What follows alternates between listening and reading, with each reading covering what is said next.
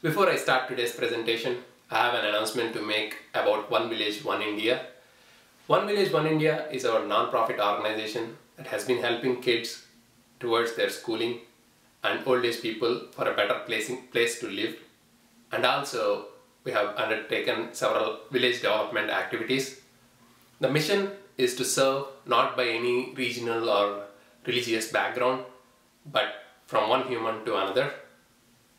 Please take a moment to have a look at our Facebook page, which has our initiatives, our mission, our goals, and also various videos from the work we have been doing. And I have also posted all these on my blog. No matter where you live on this planet, there are always people you can serve. Please do that and inspire others. Getting back to the presentation, the topic for today is Java collections. I will like to start this with an example. Every time you browse through e-commerce website like Amazon or eBay, you see that these applications retrieve all the items they sell from within their database, then display them on the UI. And as an end user, when you add a particular item, when you like a particular item and add it to the shopping cart, they hold it in the memory or session as long as you either check out or sign out. And that's exactly where Java collections comes into picture and you, you use the various classes and interfaces within the Java collections to hold on to the different objects within your application. So let's start by looking at the key interfaces and classes within the collections API. At the top of it is the collection interface, which is the main interface in the java.util package. And this interface is inherited or extended by two other interfaces, the set and the list interfaces. Set only allows unique objects to be added into the data structure. It doesn't allow duplicates. List is just a list of items and uh, I'll give in more details on the list in the next presentation when I explain you the various types of lists and also when to use which. But for now, just remember that set doesn't allow duplicate and list is just a list of items and an additional thing in list is you can add or remove items from within a list using an index. Unlike you can't do that in a set. And within set you have hash set, linked hash set and then a tree set which implements the sorted set interface and within list you have linked list, you have array list and a vector. As you can see the dotted lines mean implementation whereas the solid lines mean inheritance or extension.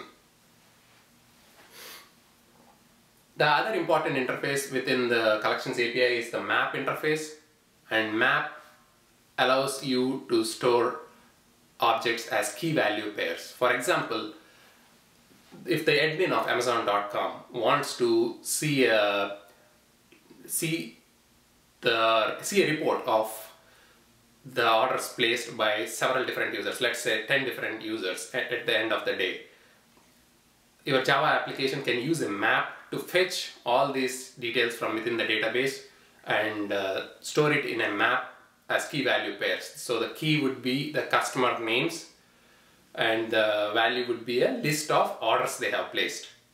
So that's how useful the map is and and the map interface is uh, implemented by hash table, linked hash map and hash map.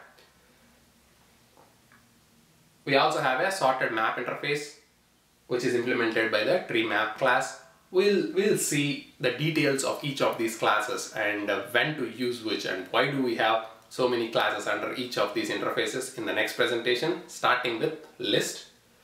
Two other important components of the Java util collections package are the iterator and the collections class.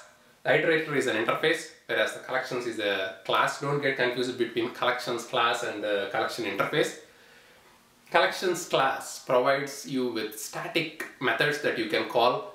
They are utility methods which allow you to play around with the different collection classes. They will allow you to create a set out of a list and some, they, it provides several other utility methods. I will discuss or I'll present them in a future presentation. And the iterator class is implemented by most of these collection classes here. And when you call a get iterator method on any of these classes, it, they provide you with the iterator class, which you can then use to iterate over all the different elements within that particular collection. That's pretty much about the collections API. To summarize, you now know that the collection interface is the key interface within the collections API, which is implemented by set interface and the list interface. Within set, we have several other different classes and interfaces, and within list, we have several different classes that implement the list interface. The map interface doesn't directly extend or inherit from the collection, collection interface, it stands on its own and you use map to save or uh, to hold on to the key value pairs wherein the keys are unique IDs and you also know the two other important components which, has, which are the iterator and the collections class which provides you with utility methods.